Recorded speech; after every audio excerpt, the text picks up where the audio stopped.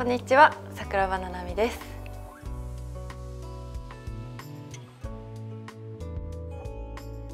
えー、今回ドラマの出演が決まった時は恋愛ドラマということでちょっとドキドキはしてたんですけどまあ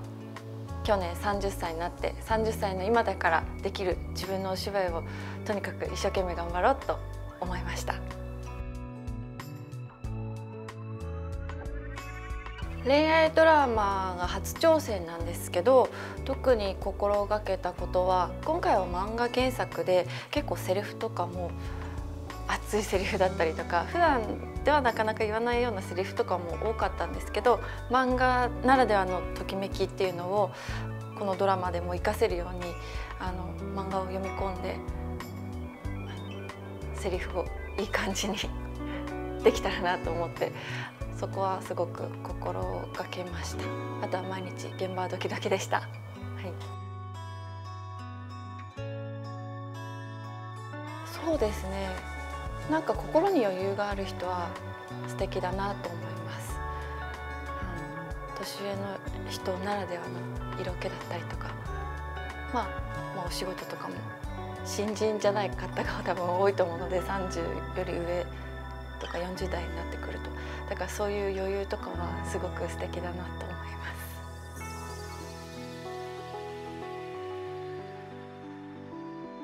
す。すごくベタなんですけど重いものとかを持ってくれたりとかするとすごい包容力あるなって 思ったりします。あとこれもベタですけどつあの道路側を歩いてくれたりとか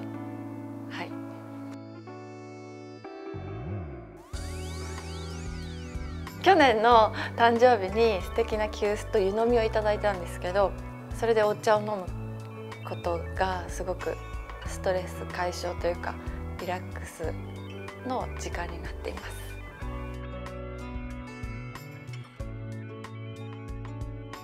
千代のように突然告白されるといった経験は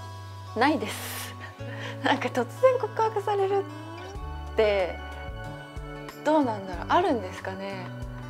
なんとなくこうご飯行ったりとか会ったりしてからの告白だった気がします。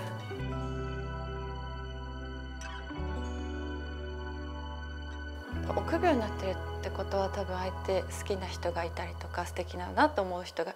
いるからこそだと思うんですけど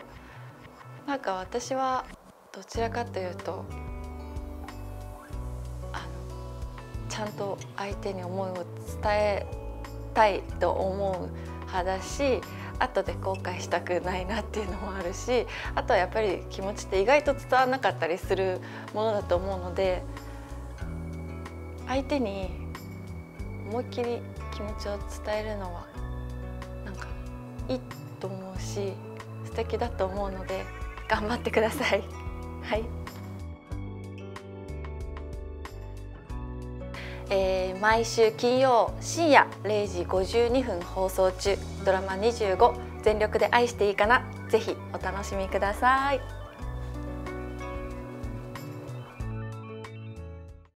好きなんだ千代ちゃんのこと。瀬尾さんは大切な昼友だったんだけど。今の私に恋愛なんてする心の余裕は？お試しの期間をもらってもいいですか？始めようか。